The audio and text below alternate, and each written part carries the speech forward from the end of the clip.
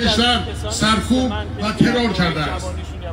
امروز ما در اینجا و در سراسر جهان گرد هم آمده ایم و در یک هدف متحد شده ایم. اعتلافی از گروه ها افراد سازمان هایی که نماینده اقوام مذاهب فرهنگ ها وابستگی های سیاسی بسیاری هستند و به عنوان صدای مردم ایران که بی تردید شجاعانه و پیگیرانه راهنمایی کردند اعتراض نمودند و برای عدالت آزادی دموکراسی و برابری فریاد زدند و گفتند و می‌گویند نه به جمهوری اسلامی. نه به جمهوری اسلامی.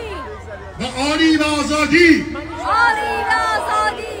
رفاه، صلح، شادی و دموکراسی از راه انتخابات قانونی آزادانه و عادلانه با تظاهرات مسالمت آمیز را پیمایی می کنیم.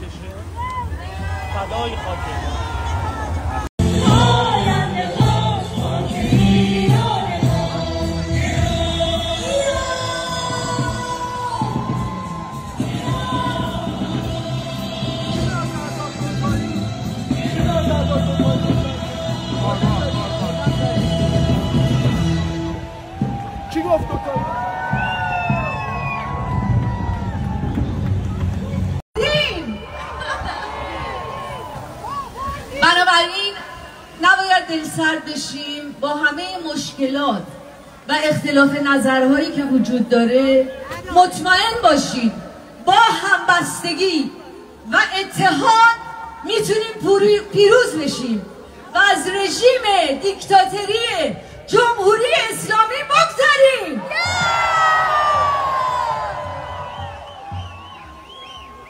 زن زندگی آزادی آبادی همبستگی اتحاد پیروزی. این شعار جدیدی آخرش رو گفتم. میشه یه بار همه با هم بگیم زن زندگی آزادی مرد میهن آبادی. همبستگی اتحاد پیروزی.